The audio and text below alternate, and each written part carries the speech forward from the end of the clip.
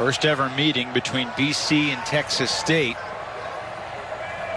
Hunter Long back in the game, makes the catch at the 31. And obviously, this is not a game that was originally on BC's schedule. Creates third and 15. Jurkovec has plenty of time to see the field. And he will sling to the sideline. Hunter Long catches at the 30, and he's out of bounds at the 33. As soon as he's done with them, he goes down to his wide receivers, and he's doing the same exact thing. Hunter Long makes the catch and takes it out to the 45. A good start to the drive. Not a major infraction by first sight, but the pass to the end zone is caught.